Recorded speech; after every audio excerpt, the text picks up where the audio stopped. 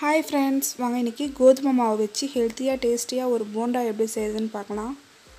First ஒரு பாத்திரத்தில் ஒரு கப் அளவுக்கு கோதுமை மாவு ஆட் பண்ணுங்கள் அப்புறம் இதில் கால் டேபிள் ஸ்பூன் மஞ்சத்தூள் கால் tablespoon garam masala add பண்ணுங்கள் அப்புறம் இதில் காரத்துக்கு தேவையான அளவுக்கு மிளகாய் தூள் ஆட் பண்ணுங்கள் நான் ஒன்றரை டேபிள் ஸ்பூன் மிளகாய் தூள் ஆட் பண்ணுறேன் மிளகாய் தூள் ஆட் பண்ணிவிட்டு தேவையான அளவுக்கு உப்பு ஆட் பண்ணிக்கோங்க.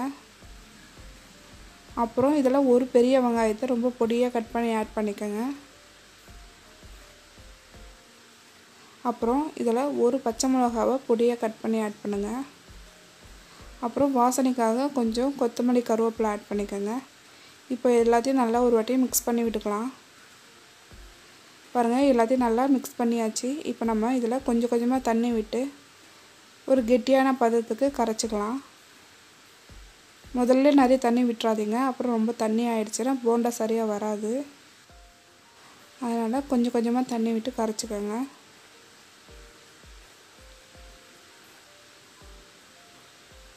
இதில் நீங்கள் வெஜிடபிள்ஸ் கூட ஆட் பண்ணிக்கலாம். கேரட் அப்புறம் பார்த்திங்கன்னா காலிஃப்ளவர் உருளைக்கிழங்கு கூட ஆட் பண்ணிக்கலாம். நல்லாயிருக்கும். இதில் நம்ம ஃபுட் கலர் எதுவுமே ஆட் பண்ணலை. வீட்லேயே ஹெல்த்தியாக செய்கிறதுனால எல்லோரும் விரும்பி சாப்பிடுவாங்க. பாருங்கள் இந்த மாதிரி கையில் எடுத்து போட்டிங்கன்னா கீழே விழணும். அந்த மாதிரி கரைச்சிக்கோங்க. இப்போ ஒரு கடாயில் எண்ணெய் விட்டுக்கோங்க. எண்ணெய் காஞ்சிருச்சு. இப்போ இதில் நம்ம சின்ன சின்ன போண்டாவாக போட்டுக்கலாம். கொஞ்சம் கொஞ்சமாக போடுங்க. இல்லைன்னா எல்லாம் ஒன்றோட ஒன்று ஒட்டிக்கும். அப்புறம் போண்டா சரியாக வராது. எண்ணெய் நல்லா காஞ்ச பிறகு அடுப்பை சிம்மிலேயே வச்சுக்கோங்க. அப்போ தான் எல்லா பக்கமும் நல்லா செவந்து வெந்து வரும். இல்லைன்னா மேலே மட்டும் செவந்துடும் உள்ளெல்லாம் வேகாமே இருக்கும். அதனால் அடுப்பு சிம்மிலேயே வச்சுக்கோங்க. பாருங்கள் போண்டா நல்லா செவந்துருச்சு. இப்போ இதை எடுத்து ஒரு பிளேட்டில் மாற்றிக்கலாம்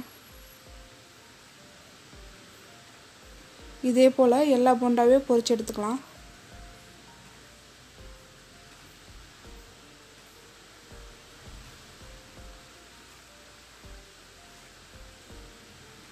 பாருங்கள் எல்லாத்தையும் போட்டாச்சு. இது கொஞ்சம் நேரம் வேகட்டும். ஒரு பக்கம் வெந்த பிறகு அடுத்த பக்கம் திருப்பி போட்டுக்கோங்க. பாருங்கள் இதுவும் நல்லா செவந்துருச்சு. இதுவும் எடுத்து ஒரு பிளேட்டில் மாற்றிக்கலாம் இந்த போண்டாவோட கெட்டியான தேங்காய் சட்னி ரொம்ப டேஸ்ட்டாக இருக்கும். கண்டிப்பாக நீங்களும் ட்ரை பண்ணி பாருங்கள் இந்த மாதிரி ஹெல்த்தியாக செஞ்சு கொடுத்தீங்கன்னா வீட்டில் எல்லோரும் வேணானே சொல்ல மாட்டாங்க. விரும்பி சாப்பிடுவாங்க. நீங்களும் ட்ரை பண்ணுங்கள் தேங்க்ஸ் ஃபார் வாட்சிங்